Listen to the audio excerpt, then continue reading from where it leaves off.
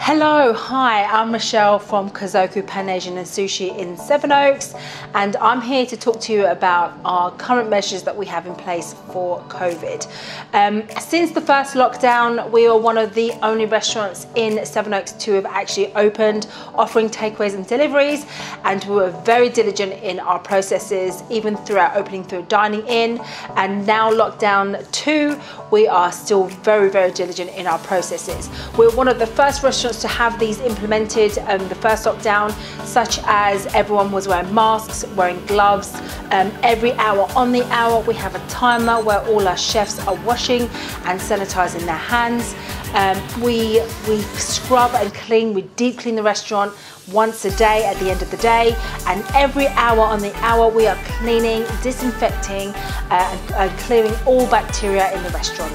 Any delivery boxes that come through the door, we disinfect and we spray them down to make sure no bacteria survives in Kazoku.